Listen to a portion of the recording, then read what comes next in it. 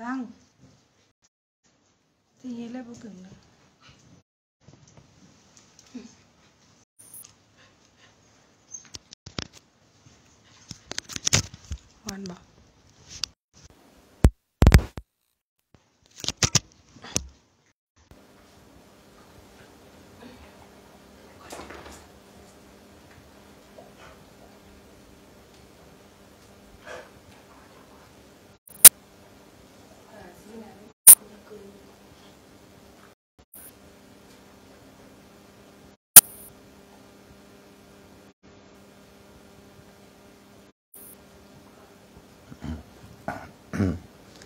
วันอังคารที่ 21 เดือนมีนาคม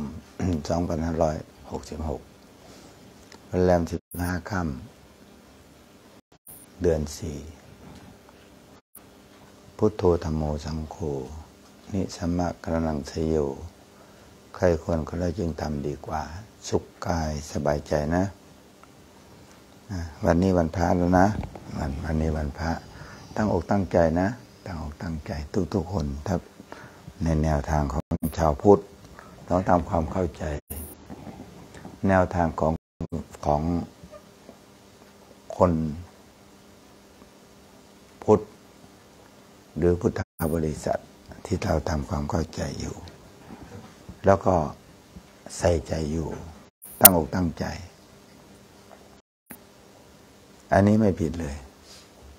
ถ้าไม่ใส่ใจหน้าที่ เหมือนกับเราทำการทำงาน ไม่ใส่ใจ ไม่ตั้งอกตั้งใจทำผลงานออกมาไม่ดี เป็นชิ้นเป็นอันมาก็ไม่ดีผลงานนั่นแหละเรียกว่าผลงาน ต้องผลิตผลงานผลิตอะไรหลายสิ่งหลายอย่างออกมา ด้วยหัวจิตหัวใจจริงๆเขาเขาบอกว่าเทไปทั้งใจ ใจเป็นด้วย กายเป็นด้วย ที่สุดของมันมันก็จะลงตัว ถ้าพูดถึงตามหลังหมดเดือนสี่นะวันนี้ หมดเดือนสี่เดือนข้างขึ้นข้างแรมพรุ่งนี้ก็เป็นวันขึ้นหนึ่งค่ำเดือนห้าแล้ว อย่างนี้ แล้วมันได้อะไรจากวันเดือนปี เราต้องมาต้อง มาทบทวนตรงนี้ เราได้อะไรจากวันวันเดือนปี เราต้องคิดอยู่เสมอเสมอว่าเราต้อง ไม่ไม่ได้ประโยชน์มากก็ประโยชน์น้อย เราได้ความสุขจากวันและเวลา เราได้ความสุขจากการกระทำของเรา เราได้ความสบายจากความรู้สึกนึกคิดของเรา การกระทำของเรา ทำออกมาแล้ว พูดออกมาแล้ว ลงไม้ลงมือสำเร็จประโยชน์ผ่านไปแล้วก็ได้รับความสุขลำลึกนึกถึงเมื่อไหร่ก็ดีใจ คิดถึงเมื่อไหร่ก็ดีใจ คิดถึงผลงานของตัวเองเมื่อไหร่ก็ดีใจคิดถึงความคิดที่เราสร้างสรรค์อะไรทำบุญทำกุศลก็ดีถ้าทำบาปอย่าจะไปคิดเลยทำบาปให้ทุกข์แก่เราแน่ ทำความชั่วให้ทุกข์แก่เราทำดีทางหางแล้วที่จะให้ผลในทางที่ดี ได้รับความสุขกันเสมอต้นเสมอปลายได้รับความสุขกันทุกทวนหน้า ได้รับความสุขกันทุกทวนหน้านะ วันนี้ผ่านไป ยังเดือนอะไรอยู่ แล้วก็ปีที่ผ่านไป ยังเดืออะไรไว้ในหัวจิตหัวใจเราบ้าง เราชื่นชมตัวเองได้ไหมในลักษณะประกอบด้วยหลายๆสิ่งหลายอย่าง เราต้องมาทำความเข้าใจมันชัดเจน ถ้าไม่มาทำความเข้าใจมันชัดเจนแล้วมัน เกือบทุกเรื่อง เกือบทุกเรื่อง ลงไปแล้ว ทุ่มไปแล้วเทไปแล้ว ไม่ได้ประโยชน์เลย อย่างนี้ วันนี้เราต้องตั้งใจ ตั้งใจทำคุณงามความดีทำคุณงามความดีทำตอนไหน เราทำงานอยู่เราก็คิดได้เราก็ทำได้ เราไม่ทำชั่วนั่นเอง เราประกอบสมาชีพ โดยทางสุจริต ไม่ทุจริต ไม่ช่อโกง ไม่ต้มตุน ไม่หลอก ไม่ลวงใคร อันนั้นต่างหากเรา ที่จะเกิดบุญเกิดกุศล แต่ถ้าตรงกันข้ามทีนี้มันตรงกันข้ามกัน มันไขว้กันนะตรงกันข้ามกันนั่นแหละทำชั่ว รู้ชั่ว เห็นชั่ว ถ้าลงไม้ลงมือทำไปแล้วเนี่ย มันหนักเบามันอยู่แต่แล้วแต่ มันแล้วแต่นะ ที่เขากำหนดโทษเอาไว้ ถ้าทางโลกก็เห็นได้ชัดอยู่ ถ้าไปฆ่าเขาตายเราก็ติดคุก ถ้าไปขโมยของ ก็มีสิทธิ์ที่จะติดคุก อย่างนี้เป็นต้น แต่ถ้าทางกรรมทีนี่กรรมคือการกระทำบุญกุศล อันนั้นต่างหากเรา ที่เราต้องมานั่งทบทวนอยู่ว่าเออวันนี้ยังอยู่นะพรุ่งนี้ไปไหนแล้วอะไรลักษณะพรุ่งนี้มันจะไปไหนนะพรุ่งนี้ก็มากลายมาเป็นวันนี้แหละการกระทำของเราก็เช็คเช่นเดียวกัน วันนี้ลงตัวนะ พรุ่งนี้ลงตัวนะ ปีทั้งปีก็ลงตัว มันอยู่ในกรอบมันอยู่ในกรอบ เราไม่นอกกรอบ เราไม่นอกดีดนอกรอยเราไม่แหกคอก อย่างนี้เป็นต้น ความสุขก็จะเกิดขึ้น แล้วทีนี้ความความที่ไม่เอาไหน ความคือความคิดของเรา มันงมงายนะ มันงมงาย มันโง่เขาบอกปัญญาจะเลิกเกินอะไรลักษณะเราต้องมาคิดอยู่เสมอเสมอ คิดได้ เข้าที่เข้าทาง ลงตัว สรุปแล้วชีวิตก็จะมีความพอดีของมัน เอาแค่ความพอดีเนาะไม่ต้องบอกเราต้องหาบุญหาปุศลไปด้วย เราต้องแบกต้องขนคุณงามความดีไปด้วย จริง ๆ คุณงามความดีไม่ต้องบรรทุกใส่รถเข็นนะไม่ต้องบรรทุกใส่รถ ไม่ต้องในเครื่องบรรทุกอะมันก็อยู่ในใจของเรานี่แหละอยู่ในใจของเรา คิดให้เป็นนะคิดให้มันเป็นวันนี้เราพอกล่าวถึงเนาะเจ้ากล่าวถึงหลายคนพระอาจารย์ ธงชัยก็ดี ท่านจะมีนั่นนะ ท่านจะมีบุญบังไฟของท่านอยู่ บุญรวมกันนั่นแหละ บุญสนุกสนาน บุญเพลิดบุญเพลินถ้าบุญทำบุญทำบุญจะลืมตัวก็แย่เหมือนกันนะก็แย่เหมือนกันแล้วทำบุญพอดีทำบุญพอดีอย่ามันเกินกำลังตัวเอง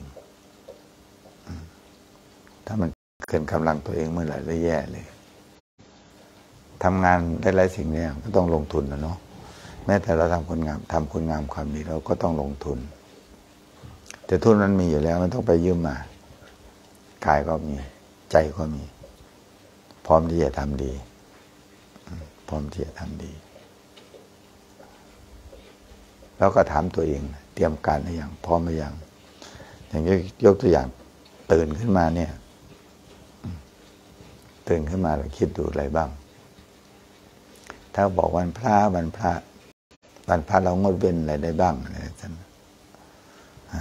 ไม่ใช่วันพระก็มัวแต่ไปทำบาปก็ไม่ใช่นะไม่ใช่วันพระก็ไปมัวไปทำบาปผิดศีลผิดธรรมอยู่นั่นอย่างเงี้ยมันก็ไม่ใช่แล้ว จะเป็นพระวันพระวันเถรวันเนนก็ช่างเด่นเรามาทำความเข้าใจ ทำให้เป็นปกติ วันพระก็ทำดี ไม่ใช่วันพระก็ทำดี วันไหนวันไหนเราก็ทำดี เย็นอยู่เราก็คิดดีแล้วก็ทำดีนั่งอยู่ก็คิดดีๆทำดีๆวิ่งอยู่เดินอยู่ อยู่กับลูกกับล้าน ถ้าเป็นคุณตาคุณยายก็ต้องดูแล้วแหละ ต้องทำใจคำว่าทำใจเข้ามาถึงว่าต้องสอนลูกสอนหลาน นั่นนะบอกลูกบอกหลาน ลูกหลานบางคนก็แปลกเหมือนกันเนาะอ่าคือเวลาก็ให้เรียนกันด้านไม่เรียนซะอะไรสักนะเวลาก็เวลาก็ให้ศึกษา ก็ด้านไม่ศึกษาเลยเสียเวลาเปล่าบางทีเสียเราเสียเวลา เสียเวลาโดยใช้ประโยชน์อ่าไม่มีเหตุผลอะไรเลย ถ้าพูดถึงตามหลัก ก็หน้าที่ ตอนที่เราเป็นเด็กยังไม่ได้ทำมาหากินเท่าไหร่หรอกเราก็อาศัยพ่ออาศัยแม่ อาศัยพ่ออาศัยแม่ อาศัยคุณตาคุณยาย อาศัยคนที่เลี้ยงดูเรา เลี้ยงดูเรา ปัจจุบันนี้เรารู้รู้เท่าทันทีนี้เราทำหน้าที่ให้พ่อแม่ เบาอกเบาใจ เราทำหน้าที่ให้ คนรอบข้างเรา จะเป็นคุณตาคุณยาย คนรอบข้างคนข้างบ้านก็เรียกให้เขาได้ความสบายใจ ไม่ใช่อยู่ข้างบ้านโอ้สร้างความเดือดร้อน ออกไปนอกบ้านก็สร้างความเดือดร้อน ออกจากชุมชนก็สร้างความเดือดร้อนเขาให้เรียนก็ไม่เรียน แล้วจะไปบ่นให้ใคร ไปบ่นให้ใคร เราจะไปด่าใครว่าใคร ถ้าพูดถึงธรรมนะก็คงด่าตัวเองว่าตัวเองนะเนาะคำว่าลงตัวถึงคำว่าลงตัวก็เหมือนกันกายเราพร้อม สุขภาพเราพร้อมนะเนาะมีความสุขกายสบาย ไม่เจ็บแค่ได้ป่วย ใจก็ไม่ป่วยอะไรกันก็ได้รับความสบาย ทำอะไรก็ช่าง ถ้าเป็นวัตถุสิ่งของเราต้องขนไปย้ายไปย้ายมาขนไปขนมาใช้แล้วใช้อีกล้างแล้วล้างอีก รักษาแล้วรักษาอีก ก็เหมือนกับกายเหมือนกับสังขารเราเนี่ยลุกขึ้นมาก็ต้องล้างหน้าล้างหน้าแปรงฟันอะไรล้างขี้หูขี้ตาล้างขี้ปากขี้ฟันอะไรอย่างนี้เป็นต้น แต่สิ่งที่เหนือกว่านั้นคือหมายถึงว่า เรา ได้ธรรมะจากมันไหมเราถ้าไม่ได้ธรรมะจากมันก็แย่เท่านั้นแหละก็ธรรมะมันอยู่ตรงนี้ไงทำไมต้องล้างก็มันสกปรกมั้งมันถึงได้ล้างมันบูดมันเน่าไหมนั่งมันบูดมันเน่า มันออกกลิ่นเหม็นมันถึงได้ล้าง มันถึงได้ความทำความความสะอาด เอาน้ำอะไรล้าง เอาน้ำสะอาดล้าง ไม่ใช่น้ำเน่าไปล้างนะถ้าอยากให้มันสะอาดก็ไม่ใช่เอาคือคิดคิดตกขี้เหรียญไปล้างก็ไม่ใช่ อันนั้นเป็นเรื่องเล่นนั่นแหละเปลืองน้ำแล้วเปลืองน้ำแล้วอยู่ในโลกอันนี้มันก็พอดีนะมีอะไรให้คนทำแต่มันสบายเกินไปไหมทีนี้ พูดถึงชีวิตเนี่ยเราเพราะว่า มันแต่ละช่วงแต่ละตอนแต่ละจังหวะเนี่ย จังหวะของชีวิตมันต่างกันนะสมัยพ่อแม่เราก็ ตักน้ำตำข้าว ทุกวันนี้ทันสมัยกับทุกเรื่องนั่งโชฟานั่งรถเก๋งเบาะดีๆอะไรสันอะไรสันแม้แต่ทีวีก็ไม่ต้องเดินไปเดินมา คุมรีโมทคุมโหมดมันเท่านั้นแหละ ใจก็เช่นกัน ถ้าฉลาด เราก็ควบคุมใจเท่านั้นแหละเราควบคุมใจให้เป็น มันงมงายตรงไหน มันรู้เท่าไม่ถึงการตรงไหน เราไม่รู้ทันตรงไหน เราวางแผนชีวิตในเป็นใช่ไหมเราจะไปเรียนนะตอนนี้อายุมากขึ้น ถ้าเผื่อ อายุไม่ได้มากขึ้นอาจจะไม่ได้เรียนก็ได้อย่างนี้เรียนตอนนี้นี่แหละใบเรียนนี่แหละเราอยู่ในใบเรียนไง อย่างนี้ เสร็จแล้วทีนี้เราก็มานั่งทบทวนเออมันเป็นอย่างนี้เนาะมันเป็นอย่างนี้ คนเราเนี่ยบางที คือคือถ้าอยู่ด้วยกันมากๆเขาบางทีมันก็มองข้ามไปนะหลวงพ่อว่าเข้าใจอย่างนั้นอ่าเขาบอกว่า ขนตามีคุณค่า มันกันฝุ่นละออง กันโน่นกันนี่ แต่ไม่เห็นคุณค่าของขนตา ก็เหมือนกับคนที่อยู่ด้วยกัน ถ้าเราไม่ฝึกมองในในในแง่ที่มันดี เราก็เห็นแต่สิ่งที่มันไม่ดี เดินก็เกะกะ พูดออกมาก็ไม่น่าฟังอากับกิยาใช้ไม่ได้เลยนะเห็นไหมล่ะ เห็นไหม แต่ไปเจออีกประเภทหนึ่งที่นี้ ที่ไปตามอารมณ์หรือกรรมอารมณ์คนเที่ยวอกเอาใจเอาละทีนี้โอ้คนนั้นดี เพิ่งไปเจอนั่นแหละที่อยู่ด้วยกันมาโอ้โหหลวงพ่อมัน หลวงพ่อมันเร็วมาตลอดมันมันไม่ใช่นะ มันไม่ใช่ มันก็ดีมาตลอดนั่นแหละมันดีมาตลอด แต่มันขัดใจเราเท่านั้นแหละใจเราไม่ ใจเราไม่มันไม่ชอบ มันไม่ชอบ จิตใจตัวเองหงุดหงิด ไม่ได้ฝึกได้หัด ก็เห็นว่าคนรอบข้างทำงานอยู่ร่วมกันนะนะหาเรื่องใส่เราบ้างอะไร เป็นเป็นเรื่องอย่างซะอย่างนั้นเลย ให้รู้จักคุณค่าคนใกล้เลยนะ ท่านถึงสอนบอก ท่านถึงสอนบอกว่า รู้จักร้านที่บ้านบ้างอย่าไปมองเห็นอรหันต์อยู่ข้างนอกอะไรมากมายนักหนา ที่สุดของมันก็อรหันต์ในหัวจิตหัวใจของเรา อย่างวิธีคิดของหลวงพ่อให้มีภาพตัวเองบ้าง อย่างนี้มันทันสมัย ภาพผู้มีคุณคุณประโยชน์ ที่ให้วิชาความรู้กับเรา ที่เป็น ที่มีภาพอยู่ไปดูตรงนี้มีใครบ้าง เป็นพ่อแม่เป็นครูเป็นอาจารย์ เราระลึกนึกถึงมา เราระลึกนึกถึง เรานึกถึงมาจากหัวจิตหัวใจจากก้นบึ้งของหัวใจอย่างนี้มันเสียหายไหมล่ะ มันก็ไม่เสียหาย แต่เราอยู่ด้วยกันเนี่ยอยู่กับคุณตา ขอเงินตาไม่ได้ ก็ทะเลาะกับตา ขอเงินยายไม่ได้ ก็ทะเลาะกับยาย ขอเงินคนรอบข้างไม่ได้ ก็ไม่พอใจ ไม่ดีใจ ไม่มีคำว่าดีใจเสร็จแล้วทีนี้ มันถึงขนาดทำลายร่างกายแล้วนะทีนี้ หนักเลย หนักหนาสาหัสเลยหนักหนาสาหัสเลยนะคำว่าเตรียมการทีนี้ คำว่าเตรียมการก็เหมือนกัน เหมือนก่อนเหมือนก่อนที่หลวงพ่อจะนั่งมานั่งทำงานตรงนี้หลวงพ่อเตรียมนู่นเตรียมนี่ก็ลุกขึ้นมา ตื่นขึ้นมา ฟื้นแล้วเราพักผ่อนไป วิญญาณออกจากร่าง ตายน้อยๆแล้ว ถ้าวิญญาณไม่กลับมา กลับมาไม่เข้าร่าง กลับมาไม่ถูกบ้าน เข้าบ้านไม่ถูก ป่านนี้ไปแล้วไม่ต้องมานั่งทำงานอยู่ตรงนี้แล้วอย่างเป็นต้น หลาย ๆ คนที่นั่งอยู่ข้างๆหลวงพ่อที่ในภาพเนี่ยเหลือแต่ภาพไปดูต่างหน้า วิญญาณกับกายไม่แล้ว ถึงวิญญาณกลับมาก็เข้าไม่ได้แล้วมั่งหลวงพ่อว่า มันอยู่ในโถนอยู่ในโบสถ์ในกำแพงไปแล้ว อยู่ในโกรธไปแล้ว ไม่ใช่โกรธเกลียดนะ โกรธ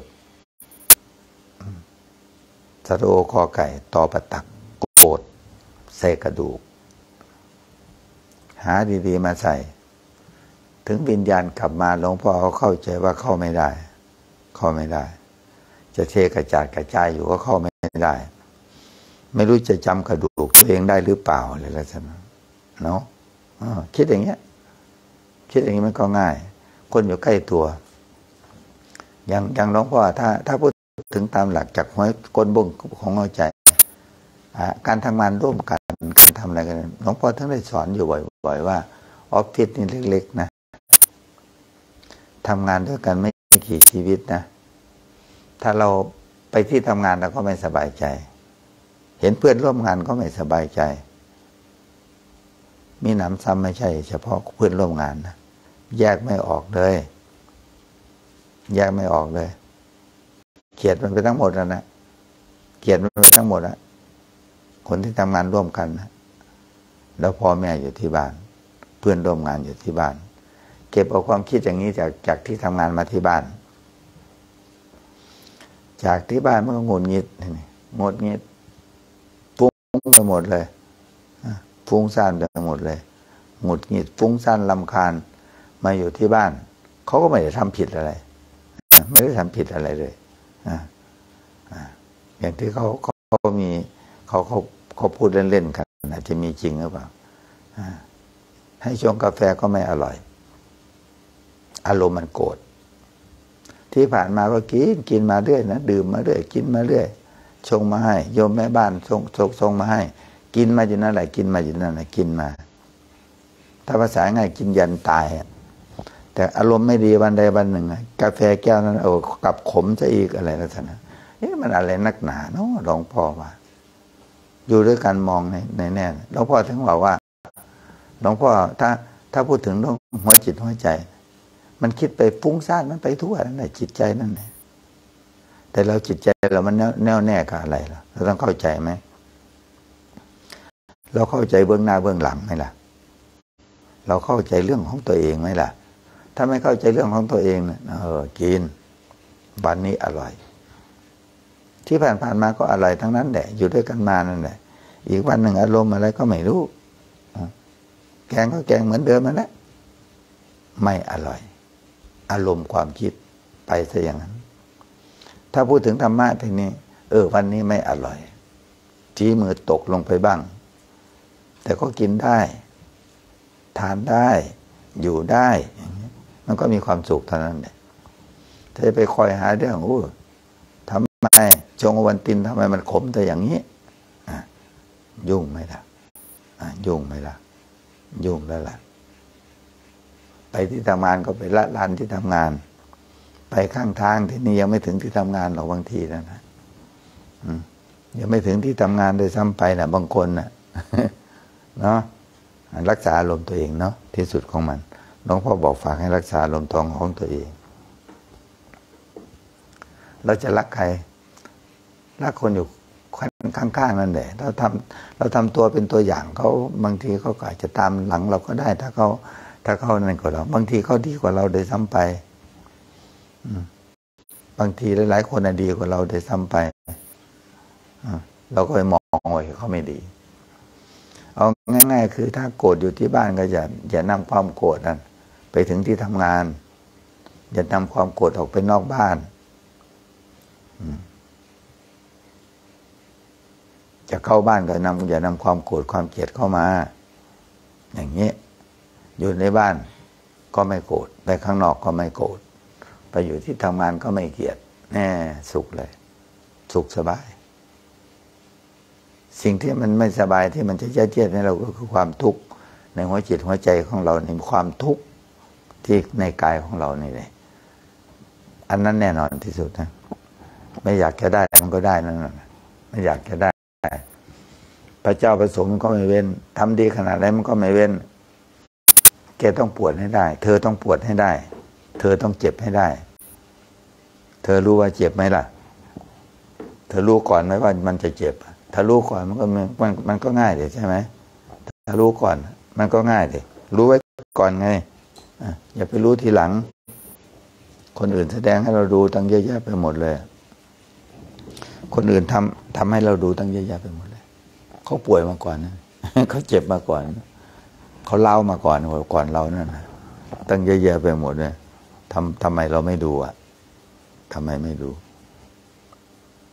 นึกไปบอกป่วยก็ช่างมันเถอะ เจ็บก็ช่างมันคนข้างบ้าน พี่น้องจะเจ็บจะป่วยก็ช่างมันเถอะ ช่างมันเถอะ ถ้ามันเป็นไปได้อย่างอย่างถ้าคิดอย่างหลวงพ่อ ถ้ามันมีคาถานะ คงจะเสกเสกออกเรียกออกมา นี้เถอะอย่ามารังแกพี่น้องเราเลย อย่ามารังแกเขาเลย ไม่มีใครขอร้องได้ ไม่มีใครขอได้ ไม่มีมีเงินกี่หมื่นกี่แสนกี่ล้านก็ไม่มีใครขอได้ ขอไม่ให้เจ็บไม่ให้ป่วยนั่น แต่ธรรมะรักษาใจมันรักษาได้อย่างที่หลวงพ่อบอก ตอนนี้ถ้าตั้งใจทำก็ทำซะเราโกรธอยู่ในบ้านไปข้างนอกอย่าไปโกรธถ้าเป็นไปได้ก็ในบ้านก็ไม่ต้องโกรธนอกบ้านก็ไม่ต้องโกรธจะไปห่อเหินเดินอากาศอยู่ที่ไหนก็ไม่ต้องโกรธไม่ต้องเกลียด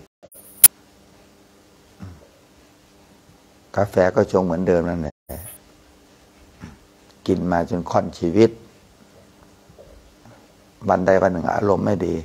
กาแฟแก้วเดิมนั่นแหละทำให้มันเปลี่ยนไป อย่างนี้เป็นต้น ตามให้มันทัน รู้ให้มันทัน รู้ตามอารมณ์ตัวเอง อันนี้ก็เข้าใจเรื่องเป็นผู้มีสติมีปัญญามีธรรมะท่านนั่นเองเนี่ยถ้าถ้ามันปิดกั้นเนาะวันนี้หลวงพ่อตั้งใจ ก็ตั้งใจกับทุกวันนั้น ถ้ามันปิดกั้นในหัวจิตหัวใจของเรา เอาแค่ปัจจุบันนี้ก็ได้หลวงพ่อก็เก็บนู่นเก็บนี่ มีตัวตุ๊กตุนตุ๊กตายายตรงนั้นยายตรงนี้บ้าง ถ้ามันเป็นเกี่ยการละลานหัวจิตหัวใจของใคร มันก็ไม่ถึงได้ก็ไม่ได้ทำเท่านั้น ไม่ได้ธรรมะไม่ได้ธรรมะจิตอยู่ตรงนี้ไม่รู้ไปจัดอะไรนะปิดกั้นแล้วทำอะไร อย่างนี้เป็นต้น แล้วทีนี้เกิดมันไม่พอใจ แล้วอะไรจะเข้า ก็บาปอากุศลนั่นเองกุศลอกุศลจิตนั่นเองถ้าเปิดใจกว้างอย่างที่ท่านบอกว่าพระพุทธเจ้าท่านโปรดท่านบอกเรื่องนี้เรื่องนี้ เปิดใจ ทิ้งทิ้งอย่างอื่นเลย ตั้งอกตั้งใจฟัง ฟังด้วยความเชื่อมั่น เปิดใจฟัง ได้ประโยชน์จากการฟัง แล้วเพอเพอก็หลุดพ้นด้วย หลุดพ้นด้วย รู้เท่าทันความจริง หรือถ้าจะไปเถียงท่านบอกว่าเกิดเท่าไหร่ก็ตายเท่านั้นไปเถียง แค่ไปเถียงอยู่แค่นี้ก็ไปต่อไม่ได้แล้ว ไปต่อไม่ได้แล้ว เกิดเท่าไหร่ก็ตายเท่านั้นแหละถ้าเกิดเกิดไม่ตายก็ล้นโลกล้นแผ่นดินเท่านั้นแหละถ้าตายแล้วขนของไปด้วย แบกของไปด้วย ถ้าหลวงพ่อตายเนี่นะมรณภาพละสังขารเนี่ยแบกเอาบาดไปด้วย แบกเอาเครื่องอุ ปกรณ์นี่ไปด้วย โอ้โหในโลกนี้จะสนุกไหมเนี่ยเรายังไม่รู้หรอกยังไม่ได้ไปสำรวจเลยว่า ไปข้างหน้าไม่รู้จะไปไปที่ไหนนี่ก็ที่สุดของมันเกิดขึ้นมาแล้วมันเป็นธรรมแล้วแหละ เกิดขึ้นมาเนี่ยตายแล้วก็ทิ้งไว้นี่ ไม่มีคนขนตามไปให้ ไม่มีใครใส่รถบรรทุกตามไปให้ คนตามก็ไม่รู้จะไปตามให้ที่ไหนเรา แต่คำสั่งสอนบอกชัดเจนไงทำบุญอุทิศทำบทำบุญอุทิศให้เขา ที่เขาล่วงลับดับไปเช่นผู้น้อยผู้ใหญ่เป็นสัตว์ตัวเล็กตัวน้อยก็ดีแผ่เมตตาไปทั่ว มีเมตตาคำว่าแจกแบ่งอันนี้ก็เช่นกันใช่ไหมล่ะ เราแจกแบ่ง ไม่ใช่แบ่งให้เฉพาะคนนี้ คนนั้นไม่ต้องไม่ต้องแบ่งให้หัวมัน ลียดมันเยอะเกินนะเกลียดก็อยู่ได้ รักก็อยู่ได้ เกลียดก็อยู่ได้ อะไรอย่างนี้ลักษณะอย่างนี้ถ้าคิดว่าถ้าเราเกลียดคนนี้ไปฆ่ามันตายทั้งหมดเลย เอาไว้แต่เหลือเหลือไว้แต่คนรัก คนที่เรารักเอาเหลือเอาไว้ ที่เราเกลียดไปฆ่ามันหมดเลยฆ่ามันทิ้งทั้งหมดเลยมา มันจะใช่ไหมล่ะ มันจะมีความสุขไหม โลกนี้จะสงบร่มเย็นไหมเนี่ย เราเลือกเอาแต่คนที่เรารัก คนเกลียดเราไม่เอา เราไม่เอา แต่คนเกลียดมันก็ไม่โผล่มาอย่างนั้นแหละ มันเป็นลักษณะอย่างนั้น ยิ่งเกลียดก็ยิ่งเจอยิ่งยิ่งเกียดก็ยิ่งพบผ่าน ยิ่งเกลียดก็ยิ่งพบหนักเข้าอีกหนักเข้าไปอีก หลวงพ่อว่า นั่นแหละหมายถึงว่า เขามาให้ธรรมะแล้ว เลิกเกลียดดีกว่าไหมนี่ ถ้ามันเกลียดมากมันโกรธมาก โกรธน้อยลงดีกว่าไหมนี่ ก็ยิ่งโกรธก็ยิ่งหนักอะโอ้โหเต็มไปหมดเลย ก็อย่างที่หลวงพ่อบอกถ้าเราเกลียดคนนี้โกรธคนนี้ เกลียดชังคนนี้ถ้าเราเกลียดชังทั้งโลกเนี่ย เราต้องไปฆ่าทิ้งทั้งหมดใช่ไหมฆ่าทิ้งทั้งหมด เราฆ่าความคิดของตัวเองทีนี้ที่ที่ที่มันจะชนะนี่คือค่าความคิดของตัวเองนะเราคิดบ้าไปหรือเปล่านี่เราบ้าไปหรือเปล่านี่เกลียดเขาจะไปฆ่าเขาทิ้ง โง่ จิตมันโง่ไง จิตมันโง่เขาบอกปัญญา ก็มาแก้ที่จิตของตัวเองนะใช้ปัญญา ตาเข้าไปแก้ มันก็เป็นธรรมะเท่านั้นแหละ อยู่ร่วมโลกกันไปนี่แหละ คนที่เราเกลียดมันก็จะตายนั่นแหละจะทันชาตายชาหรือตายเร็วเท่านั้นแหละอ่าเราก็เช่นกัน ที่เราเกลียดเขาอยู่ตรงนี้ก็ตายเหมือนกัน แต่ตายช้าหรือตายเร็วเท่านั้นแหละ ก็เท่านี้เลยก็มีความสุขเท่านั้นเลยอ่ามีความสุขกลางวันก็มีความสุขกลางคืนก็มีความสุขนอนหลับก็มีความสุข อย่างที่หลวงพ่อพูด มุกคำขำเพื่อเป็นคติสอนใจ ตายแล้วสิ้นใจแล้วไงวิญญาณเจ้าของร่างเนี่ยไปแล้วกลับมาหากระดูกตัวเองเจอไหมเนี่ย ไม่รู้เขาแอบไปที่ไหนแล้ว เข้าบ้านไม่ถูกแล้ว อย่างเงี้ยหลวงพ่อว่าเข้าบ้านไม่ถูกเยอะนะบางทีนอนหลับ นอนหลับยังฝันลายเลย ก็จิตมันไม่ปกติอะ ถ้าฝันดีนะมันกลับมาบ้านถูกก็เป็นบุญแล้วนะตอนนี้ก็นอนไงรบกวนรบกวนชาวบ้านเลยนะรบกวนนะเสียงกลนได้ยินไหมเสียงกลนก็เกะก็เกะก็เกะอะไรสั่นใช่ไหมรบกวนคนที่เขาไม่หลับรบกวนเขา ก็ปรารถนา ด้วยความหวังดี ขอให้เจ้าของบ้านกลับมาบ้านให้ถูกแล้วกันเนาะ ถ้ากลับมาไม่ถูกวันนี้ก็ถ้าเป็นชาวพุทธถ้าเป็นนั่นก็จองสลานะจองสลาแน่ๆต้องวางแผนนิมนต์พระแล้ว เออจะนิมนต์พระวัดไหนบ้างก็มัน เจ้าของบ้านครับกับบ้านมันไม่อยู่แล้วไง มันไม่อยู่แล้ว มันเข้ามาบ้านไม่ถูกแล้วแต่บางทีมันก็เกลียดนะ มันเกลียดบ้าน จนว่ามันหนีแล้วน้องพอทั้งเออตอนที่อยู่ด้วยกันก็อยู่ด้วยกัน ไปไปมาเนี่ยถึงวันถึงเวลานั้นนะเรียกกลับมา เรียกกลับมา ให้มาอยู่ด้วยกันอย่างนั้นอย่างนี้ แต่อีกมุมหนึ่งก็น่าคิดนะน่าคิดมาก ๆ เลย อีกมุมหนึ่งน่าคิด ตายตอนนั้น ตายกลัว กลัวเลย เคยอยู่ด้วยกัน พอดีคนหนึ่งสิ้นใจแล้วนั่นกลัว อยู่บ้านไม่ได้ ต้องมีเพื่อนมาอยู่ด้วย เพื่อเพื่อไม่อยู่เลยทิ้งเลยทิ้งเลยอย่างนี้เราว่าเราอยู่ที่ที่อยู่ด้วยกันนะอยู่ด้วยกันแล้วมีความสุข อีกคนหนึ่งพัดไปภาคไป อีกคนหนึ่งตายไป สิ้นใจไปไอ้คนอยู่แล้วยุ่งเลยทีนี้ อยู่ยุ่ง แต่อีกประเภทหนึ่งก็เรียกกลับมา เรียกกลับมา หาข้าวหาปลาให้อะไรให้เรียกกลับมา ขอมากินข้าวด้วยกัน ขอมีความสุข ขอให้มีมาอยู่ร่วมกันนึงให้ได้รับความอบอุ่น เออ อย่างนี้ก็ขายังชวน อีกอีกอย่างนะครับไล่ใช้ส่งเลยหลวงพ่อถึงว่า บางทีมีนานๆมีทีเหมือนกันนะ แต่หลวงพ่อก็ไม่ค่อยรับ ไม่ค่อยรับ ชวนเข้ามาเยอะๆแต่หลวงพ่อบอกคือหมายว่าตายแล้วไง ตายแล้วกลับมาบ้านไปเผาเลยไม่พออีก มากันไม่เข้าบ้านอีก โอ้โห ให้พระเสกพระสวดกันไม่เข้าบ้านพระก็โง่เข้าไปอีก บ้านเขาไม่ไปกันมันได้มันกันมันทำไมให้มันกลับมาเถอะหลวงพ่อบอกชวนมากัน ถ้าไปเจอเพื่อนเยอะๆชวนกลับมาเยอะๆเลยนะหลวงพ่อ อยู่กับอยู่กับผีประเภทเนี้ยมันง่าย ดีกว่าอยู่กับผีดิบดีดีกว่าอยู่คนเป็นๆที่บอกแล้วมันไม่ค่อยเชื่อ บอกแล้วไม่ค่อยทำตามอ่า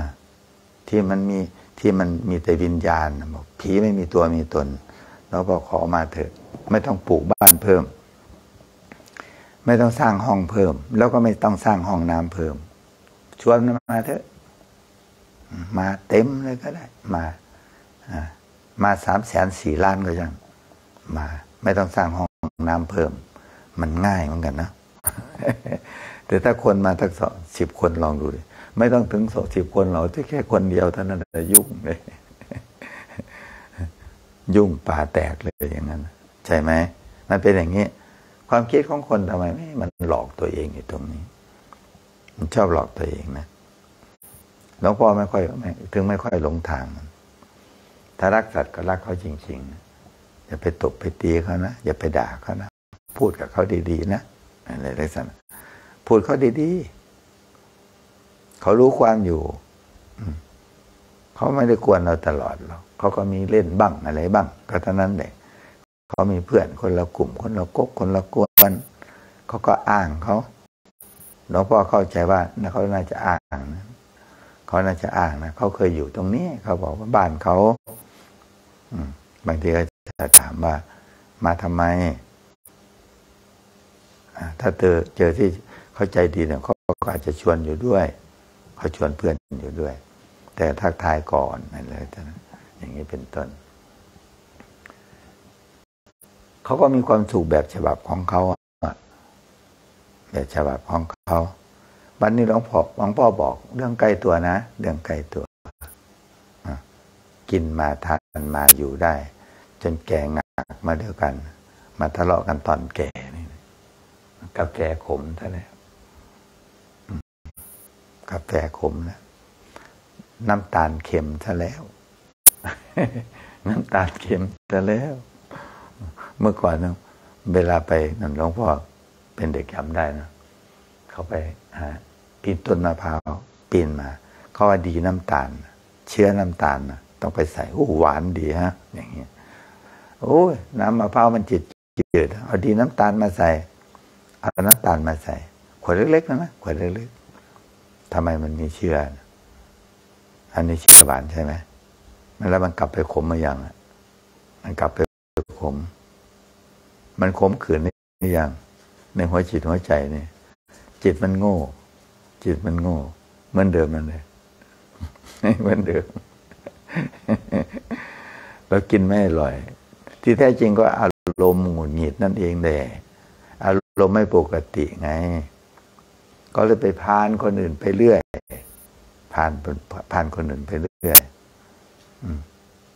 ใครฟังแล้วเป็นเรื่องใกล้ตัวเนาะเอาไปใช้ในชีวิตประจำวันนะอย่าอย่าเพิ่งเปิดผ่านนะ อย่าเพิ่งเปิดผ่าน จริงๆเอาไปใช้ตรงนี้ธรรมะอยู่ตรงนี้ ไม่ใช่ธรรมะอยู่ในตู้ไง ไม่ใช่หลวงพ่อเหาะมาเนี่ยเหาะมามันก็เรื่องของเหาะเดินมาก็เรื่องของเดินนี่แต่การกระทำต่างหากเล่า เป็นแม่แบบที่ดีเป็นพ่อแบบที่ดีไหมเป็นแม่พิมพ์ที่ดีไหมอย่างนี้เป็นต้น เสร็จแล้วทีนี้เราหาที่มันลงตัวไงอยู่ด้วยกันก็โอ้แก่แล้วครับแก่แล้วล่ะอย่างเงี้ย เรารู้ตัวว่าตัวเราแก่ เรารู้ตัวว่าเราแก่ เราอย่าไปเห็นว่า อย่าไปเห็นแก่ตัวนะเราอย่าไปเห็นแก่ตัวนะเราเห็นตัวเองแก่นะแก่มากแล้วด้วย มันแก่มาตั้งแต่เริ่มต้นนั่นแหละอยู่เดือนหนึ่งอยู่ในท้องก็แก่มาเดือนหนึ่งนะกลับไปเป็นเด็กอีกเดือนหนึ่งได้ไหมเนี่ย ถ้าอยู่ในท้องท้องแม่เนี่ยเก้าเดือน แล้วกลับไปเป็นเด็กเก้าเดือนอีกได้ไหมเนี่ย ผ่านมาปีหนึ่งสิบปียี่สิบปี อย่างหลวงพ่อเกิดมาห้ารอบกว่า ย้อนกลับไปนอกนั้นไปฝากธนาคารเอาไว้ เอาเหลือไว้ที่ตัวเองเนี่ยถ้านิดเดียว อย่างนี้ได้ไหมมันมีแต่จะเพิ่มขึ้นเท่านั้นแต่ขณะที่มันเพิ่มขึ้นอายุมากขึ้นก่อนเราทำคุณงามความดีเท่านั้นแหละถ้าเราทำความชั่วมาตลอดตั้งแต่สิบตั้งสี่รอบห้ารอบหนึ่ง โอ้ยมันไม่มันไม่ไม่เข้าท่าไม่ไม่ไม่เข้าท่าเลย ไม่ดีเลย